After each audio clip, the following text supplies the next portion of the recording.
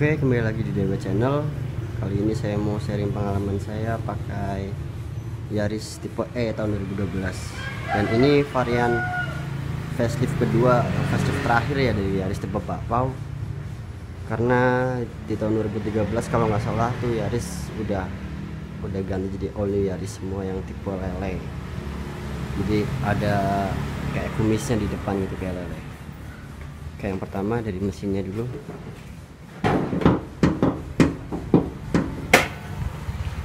Dia pakai mesin legendaris ya VTI 900 cc mesinnya Vios. Dengan 100, 107 horsepower dan torsinya ada di 142 Nm dia udah dicat warna bodi ya mesinnya rong mesin. Kap mesin juga udah cuma peredamnya saya lepas karena sobek.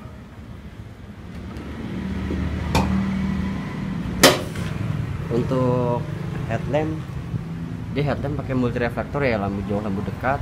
Terus di sini lampu kota di atasnya dia ada lampu sen dan semuanya dia masih bohlam terus untuk fog lamp dia belum dapat dia baru dapat di tipe S sama TRD Sportivo.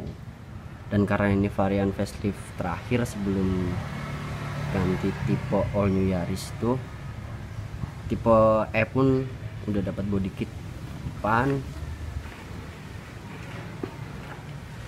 samping sampai ke belakang. Nah itu. Jadi dua sensor parkir. Terus karena ini facelift terakhir dari tipe Bakpao stop lampnya dia LED tapi lampu sen dia masih tetap bohlam ini emblem tipe E nya di belakang dia punya rear wiper, rear defogger, rear spoiler karena varian uh, facelift terakhir itu terus dia high stop lamp dan short full antena untuk pelek. Pelek ini saya cat hitam karena supaya kelihatan lebih sporty aja sih. Sebenarnya warnanya silver. Uh, dia pakai profil ban 185 per 60 uh, ban depan dia pakai cakram ban belakang masih tromol yang sudah ada sennya. Terus. Panel door trim. Panel door trim dia di sini bahan fabric di sini dia bahan plastik lengkap dengan window lock auto door lock sama uh, auto di sisi driver dia plastik sampai bawah juga plastik. Di sini ada speaker door pocket dan cup holder.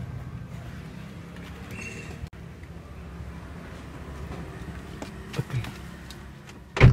Masuk di dalam kabin tipe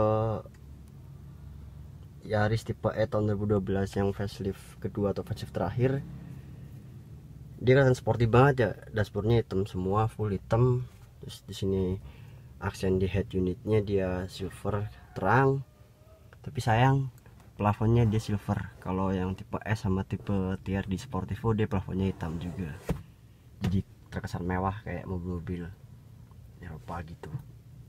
Terus ngomongin soal Yaris dia uh, punya banyak banget akomodasi tempat penyimpanan ya.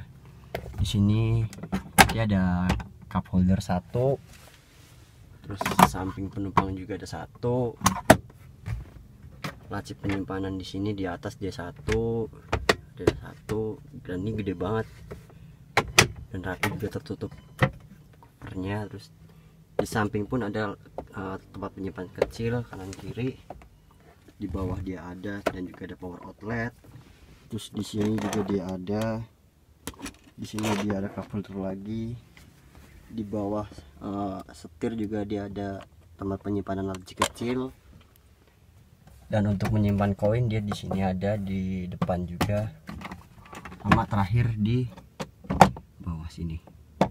Jadi banyak banget ya kalau dihitung plus cup holder di sini dia ada satu dua tiga empat lima enam tujuh delapan sembilan 10 banyak banget kalau ngomongin soal akomodasi tempat penyimpanan di Yaris Oke, terus uh, dia jok jok sebenarnya dia masih bahan fabric cuma ini saya udah lapisin uh, pakai sarung jok kulit. Dan dia juga headrest sudah stable. Begitupun juga dengan seat belt hand grip model track terus juga sun visor sisi penumpang dia lengkap dengan mirror. Dua buah lampu baca. Terus sisi driver dia juga lengkap dengan vanity mirror dan juga car holder. Oke terus uh, bentar saya nyalain untuk kontak on dulu.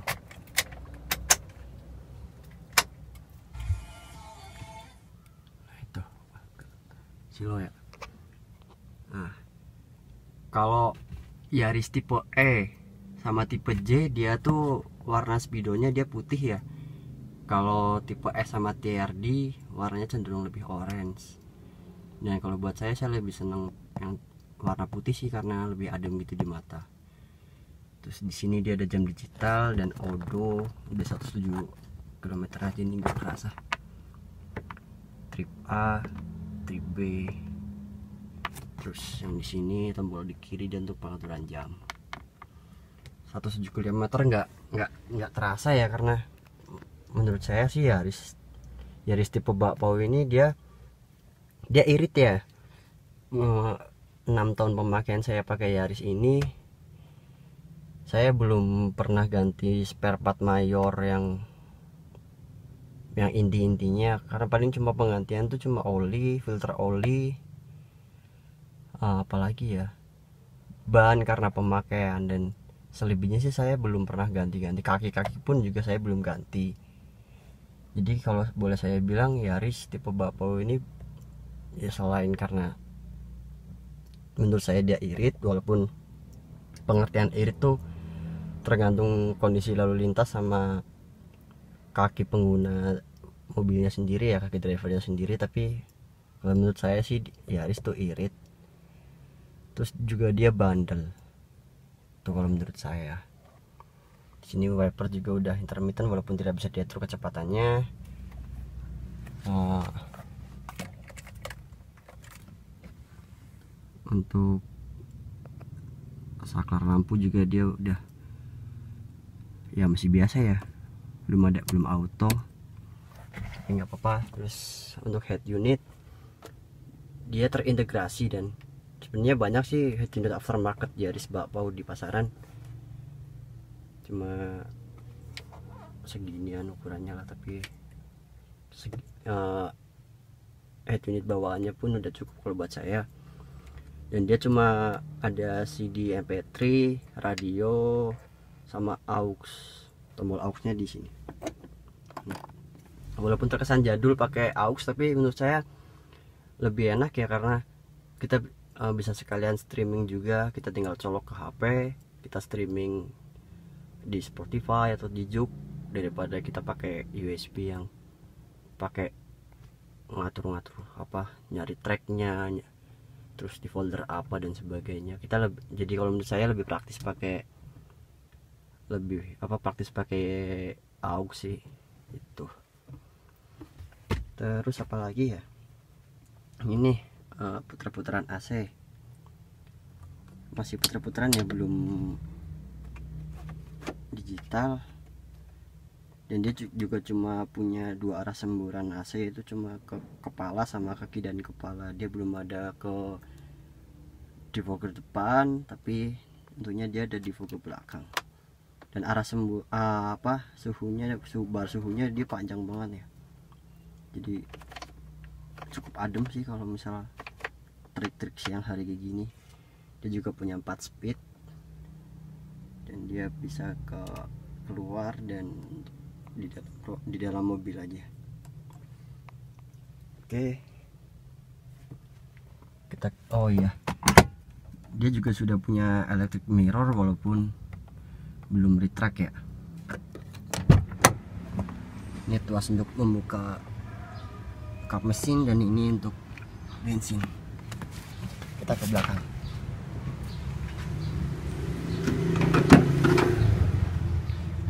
Belakang masih sama ya sisi door trim atas dia masih bahan fabric bawah dia plastik tapi plastiknya plastik solid sih nggak yang gampang uh, apa gampang goyang. Handle handle pintu dia masih plastik bahan bahan plastik warna hitam terus power window di sini. Unik sih. Ini cuma di sini doang kenapa nggak disambungin di sini gitu? Tapi ini unik. Ini speaker.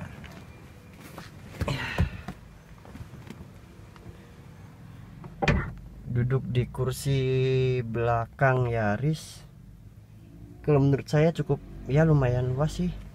Ini posisi duduk saya tadi di depan. Kaki saya masih ada segini tinggi saya 172 masih cukupan lah. Terus, dia juga udah ada seat back pocket. Kalau duduk di tengah kan banyak yang bilang duduk di tengah juga sempit tapi kalau menurut saya enggak juga sih. Masih seginian nih. Justru malah lebih lebih lega sih kalau di tengah. Kakinya bisa ke sini juga biasanya kalau saya lagi nggak nyupir tuh saya kakinya bisa ke sini kalau sini nggak ada botol itu terus uh, tapi nggak disaranin banget ya karena uh, penumpang tengah tuh dia nggak punya headrest kayak kanan kiri gini dan dia juga sudah adjustable. Dan dia juga uh, untungnya bisa di reclining ya.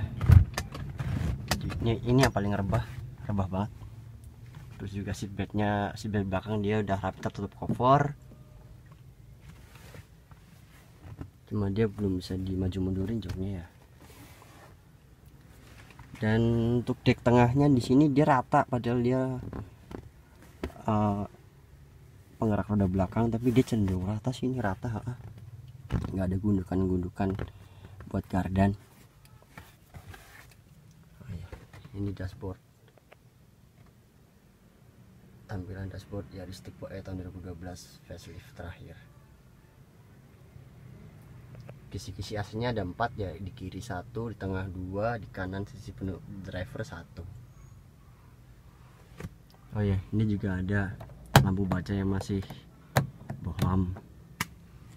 Dan untuk uh, hand grip di penumpang belakang kanan dia ada hook. Oke kita ke bagasi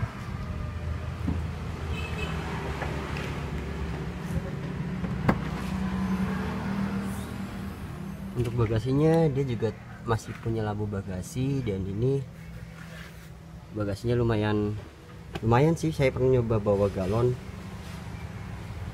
Galon tiga tuh muat tiga. Dan untuk ban serep sama toolkit dia ada di dalam sini dan ini bisa dikunci. Kita buka. Nah itu ban serepnya dia full size sama persis kayak aslinya bukan kaleng ini toolkit toolkitnya sini pun juga ada ada separator lagi buat tempat penyimpanan penyimpanan ya. Saya bisa taruh karnibul lap dan sebagainya di sini yang sedangkan yang di kanan dia saya pakai buat toolkitnya oh ya tadi juga penumpang tengah dia dapat seat belt ya. Cuma nggak dapat ini aja headrest Oke sekian dulu dari saya mengenai owning experience saya pakai Yaris tipe E tahun 2012 facelift terakhir. Jangan lupa like, subscribe, share dan komen kalau berkenan. Dan terima kasih sudah menonton